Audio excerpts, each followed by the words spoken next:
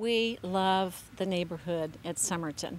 We have just the best residents here. They're very active, um, very caring, um, out walking around, visiting, and, and sitting on the front porches with everybody in the evenings. It's just been such a joy. We just have the best residents in Sommerton.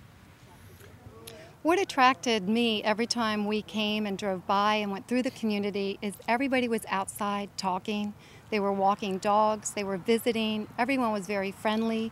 Even though we didn't live here, if they would catch our eye, they would wave. Just the friendliness.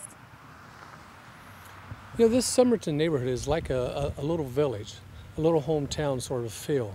And when you drive into it, of course, you can see just the just the look itself will just knock you on your socks. But uh, the neighbors, just can't say enough about the neighbors. Everywhere you go, it's always hi, how you doing? Call you by name.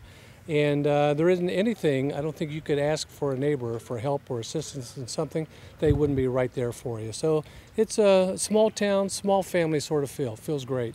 Frankly, it's a very attractive driving by, driving through. It's quaint, accommodating, and friendly. And, and the, the aesthetics and, and the content of the community itself preaches that across the board.